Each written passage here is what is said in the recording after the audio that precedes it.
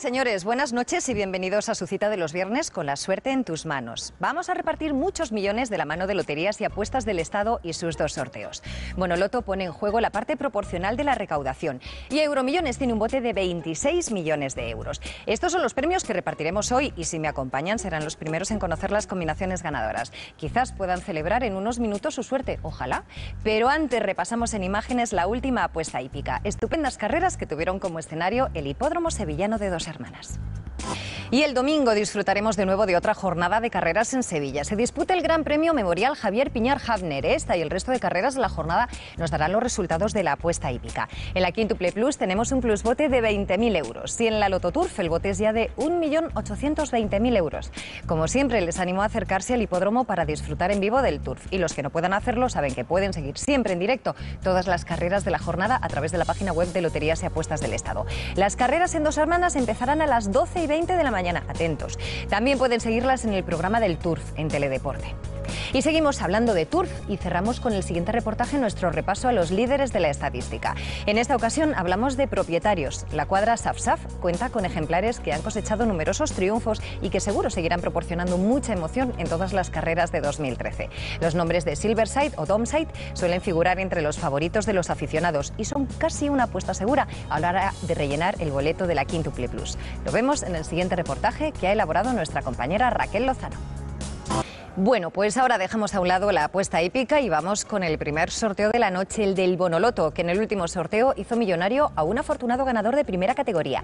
Selló su boleto. Ustedes preparen sus resguardos de hoy, estén muy atentos porque vamos a ver las imágenes del sorteo de esta noche.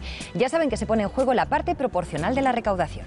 Esta era la primera oportunidad de la noche de ganar un buen dinero y ahora enlazamos rápidamente con la segunda. 26 millones de euros es el bote de nuestro segundo sorteo de hoy, Euromillones.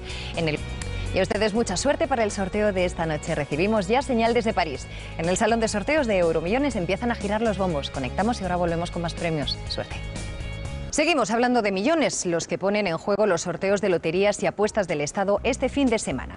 Mañana nos vamos de viaje con el sorteo especial de enero de Lotería Nacional. Los bombos de la suerte y los niños de San Ildefonso se trasladan a la ciudad de Lleida. Allí, desde la emblemática Seu Bella, se celebrará este sorteo que reparte 84 millones de euros y tiene. También el sábado vuelve la primitiva, por cierto, que el pasado sábado repartió el mayor premio de su historia. Más de 32 millones 450 mil euros ganó un único acertante de categoría especial que se dio su en Pamplona. Enhorabuena. Pero la primitiva ha repartido más premios estos días. Anoche en Huelva se selló un único boleto de categoría especial que ha sido premiado con más de 2.667.000 euros.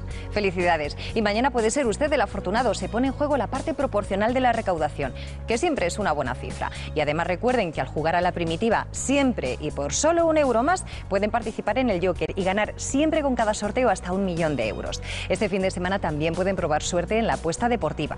La quiniela pone en juego la parte proporcional de la recaudación y el Quinigol tiene un bote de 165.000 euros. Además, el domingo tenemos Turf, que nos permite ganar un buen dinero con la apuesta hípica, como ya vimos antes.